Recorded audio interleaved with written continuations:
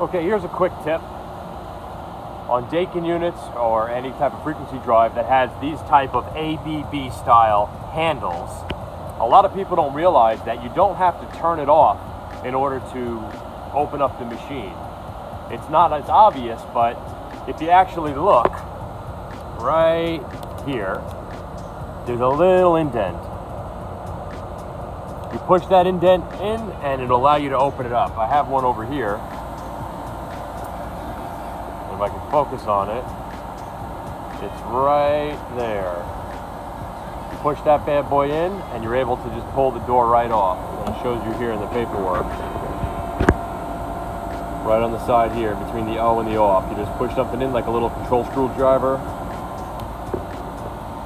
Right in here. Pushes it in, opens it up.